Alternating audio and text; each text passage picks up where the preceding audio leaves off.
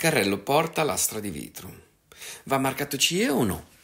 Sul mercato si trovano tutte e due le versioni, quello marcato CE e quello non marcato CE.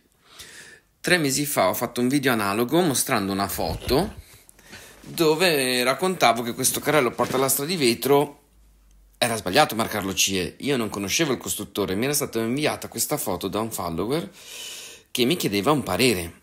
E io ho fatto questo video per dare una mano a tanti, con un'unica risposta aiuto più persone, dove racconto che un carrello porta lastre di vetro, non va marcato CE.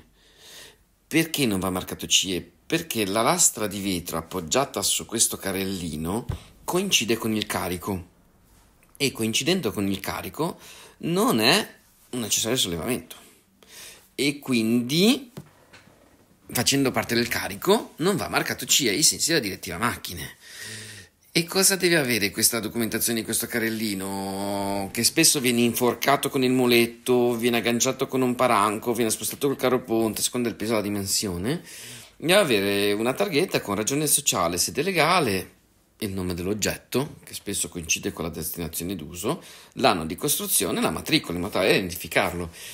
Poi consiglio sempre di fare un manualetto di istruzioni che spiega come controllare, come vedere se ci sono cricche, come vedere se le saldature sono fatte bene, come usarlo, come caricarlo, la dimensione, la pesantezza del vento per dare dei limiti d'uso all'utilizzatore e spesso questo le carpenterie non lo fanno. Ma non ci va il CE. Perché non ci va il CE? Il CE non va perché non rientra nel campo di applicazione di nessuna direttiva che appone il CE.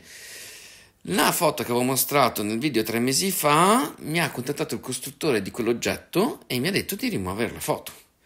Perché mi ha detto di rimuovere la foto?